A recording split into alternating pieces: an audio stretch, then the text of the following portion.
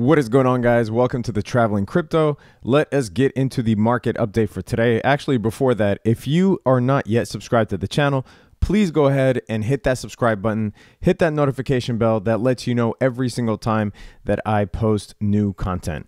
All right, right into it. So the market cap is 436 billion. Uh, BTC's dominance is not much changed uh, at 36.4%, a little higher than it was yesterday.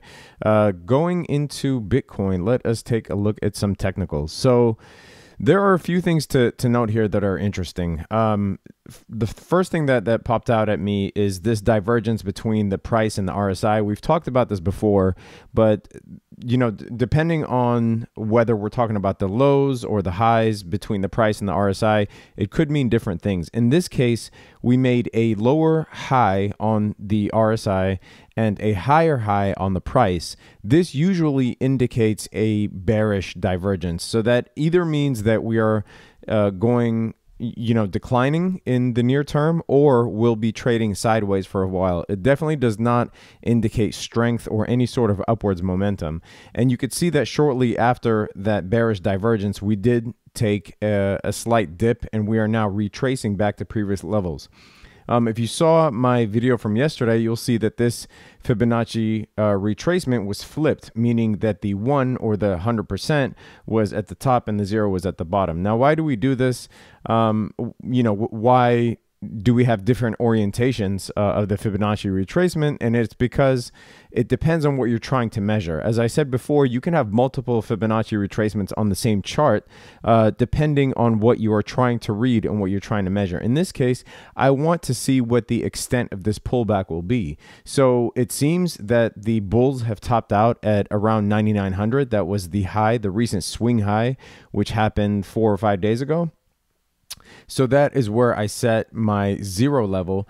And at the bottom, the 100% is the most recent low before this rally here, which was at around $6,500, $6,600. Um, so what I'm trying to measure is how far down Bitcoin is willing to retrace uh, before you know finding support. And in this case, it looks like it's bouncing off this 0.236 level um, at around 9100. We did fall below, but we haven't closed below. Uh, we fell to a low of, according to this, uh, around 8900 and $80 today. Um, we are also bouncing off of the 100 day moving average, which is this green line right here. This navy line is the 20 day moving average. So it looks like they are converging. Uh, it's kind of hard to see here. Let's see if I can zoom in. Um, so I apologize. I have too too many things going on at the screen at once. So this navy line here is the 20 day. This green is the 100 day. Uh, so it's good to see. We want the shorter increments to move above the longer term increments, right? That shows a, a sign of, of momentum, which is essentially what the the MACD is, right? So when the 12 is above the 26, that shows a sign of strength. When it dips below, like it is here, um, that shows a possible sign of upcoming momentum loss. So the we are above the 20 and the 100 day and the 20 is actually converging above the 100 day, which is a good sign.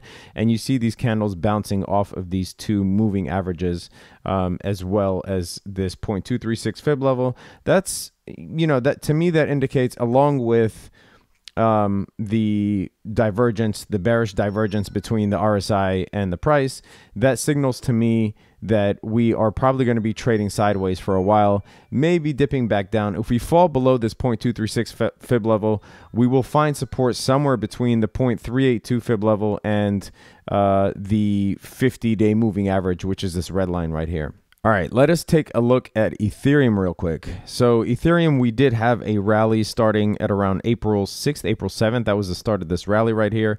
And again, we are seeing a, a pullback in the same way that, that Bitcoin is uh, behaving. And so, back to the same Fibonacci where we set the zero at the recent swing high, which was at around $820.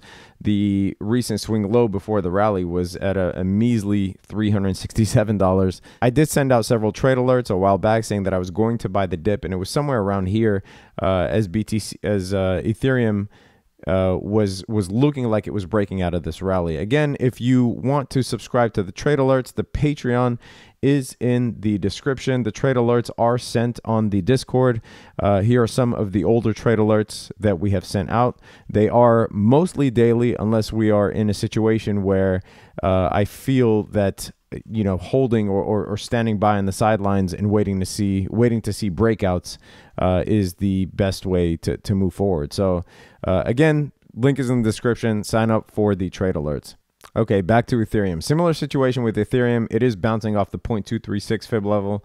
Uh, as you can see, these long wicks here extending down to around the 0.236 level of $715. It is finding support there, but we see the same bearish divergence on the RSI. So here is a high and here's a lower high. And if you look at the price, starting at the same exact point, here you have a high and here you have a higher high on the price. So that indicates a bearish divergence, which again means that there isn't upward momentum in the near term and we might either you know trade sideways for a few days or, or a few weeks who knows or fall or, or, continue to, to retrace back to previous support levels. All right, let's move on to EOS real quick. EOS is interesting, breaking all time highs recently. We did send out multiple trade alerts for EOS, booking double digit profits multiple times. So with EOS, the divergence between the price and the RSI is quite the opposite. We see that the RSI made a lower low, the price made a higher low. That is called a hidden bullish divergence, which is a good sign moving forward. Um, we do see the retracement again from this all-time high point. I, I drew this as a possible uh, Elliott wave, uh, Elliott impulse wave formation, uh, which could still take effect, which could still be in effect, right? Um, it just really depends on on this this four the the fourth wave here. If we do retrace back down to levels, I would say you know below the two three six, closer to the 0.382 level or below, then I would have to redraw this this fourth wave here, this fourth point. But either way, EOS there are a ton of bullish signs on EOS besides this this divergence that we see. Um, it is currently bouncing off, you know, all kinds of, of EMAs. Here you have the 20 in the navy blue, uh, the 50 is the red, the, the 100 is the green, the 200 is this royal blue here, uh, which is short because obviously, you know, this only goes back to October 2017 on, on Binance. So we don't have a lot of 200 day information. We only started collecting 200 days, obviously, after we had 200 days of trading. Nonetheless, it is still trading above all three comfortably. There is an upward slope, uh, which is a, a bullish bias on on all three EMAs. Um, again, it is not. We did fall below the the 0.236. So unlike uh, Bitcoin and Ethereum, we did fall below it just slightly, but it is bound. It looks to be bouncing more off of the 20 day EMA.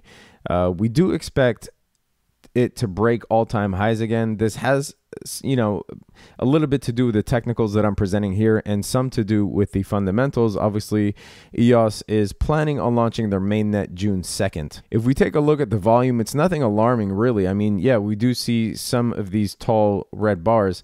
That just indicates a bound uh, a bout of uh, profit taking from reaching all-time highs. That's understandable. I mean, that's something that that I did as well, right? So once we hit these all-time highs, obviously you expect people to take profits um, not really, you know, putting so much confidence into EOS or any security for that matter remaining stagnant at these all-time highs. You always do see a pullback, right? Even Bitcoin when it hit the 20k, it's not going to stay at 20. There is going to be a peak um, where most of the traders feel like they need to take profits or they're satisfied with taking profits.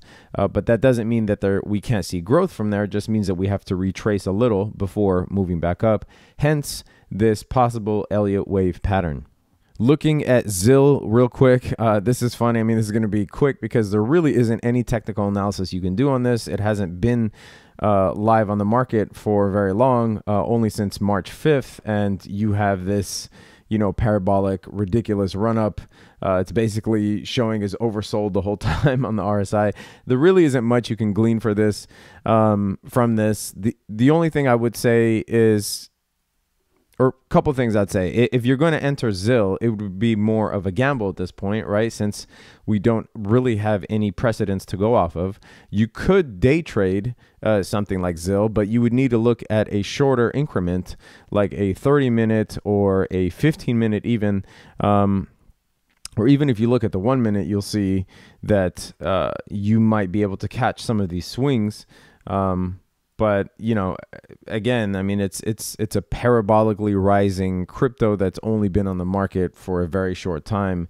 So there isn't much that that you can glean from from technicals. Uh, you certainly could you know put put a position here. I would set an aggressive stop loss uh, a very aggressive stop loss to catch any sort of uh, downtrend um, and and yeah, I mean you're you're basically taking taking a gamble on what the price normalization will be for for ZIL. Looking at some of the news in cryptocurrency, uh, this is an interesting one. Circle adds Monero to, to crypto investment app. There was some rumor earlier this year uh, that Coinbase might add Monero because it's it's lacking, you know, a, a privacy coin per se or a pure privacy coin. Um, that Coinbase would be adding Monero at some point in 2018. I don't know how founded those rumors are, but it's great to see it added to Circle. Uh, another news story: crypto exchange Coin Coinone taps Ripple for new remittance service. I believe this is in South Korea. Um, I do have a a whole Ripple video coming out shortly, probably sometime this week, explaining why these deals. I mean, you see these like you know every day practically there's a, a, new announcement that Ripple is partnering with some government or some corporation or some bank, um, but yet the price seems immovable, really. Um, and I do have a video explaining why that is. Look for that later this week, some point. The first version of Ethereum's Casper upgrade has been published.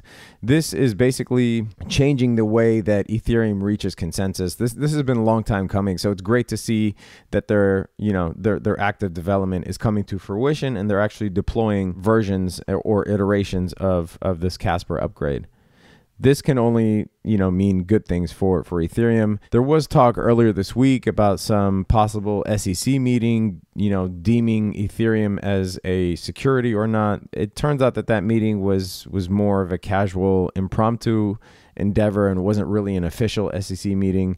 Um, i really haven't heard any news coming from that but uh, it, it, you know it wasn't as uh, important as people people made it out to be. I think that the SEC and other regulatory bodies are going to be are, are taking a, a, very careful approach as it relates to cryptocurrency and even to ICOs. You see here there's a news story that was saying SEC commissioner cautions against blanket ICO classification. There is another news story saying that why the SEC should give amnesty to illegal ICOs. So even talking about ICOs that are clearly scams, this is a very interesting article, but it it, it basically uh, maps out a plan or a possible plan that the SEC can take in order to curb illegal ICOs um, by providing amnesty and some sort of program uh, to bring ICOs into into the the legal fold. Uh, I'll link this in the in the description. This can probably you know take an entire video to to to explain and and dive and deep dive into. But the point is that the regulatory bodies are actually taking a more careful approach with cryptocurrencies and ICOs, which is great to see that that cooler heads are, are prevailing here.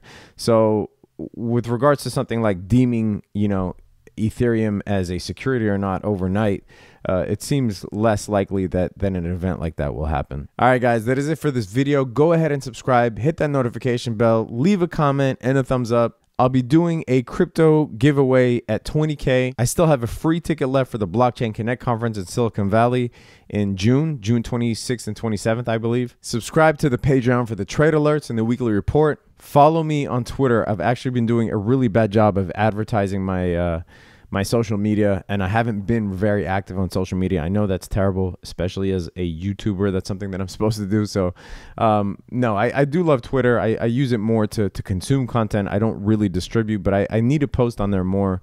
Uh, so, follow me on Twitter and encourage me to get more active on it. I'll see you guys next time. Peace.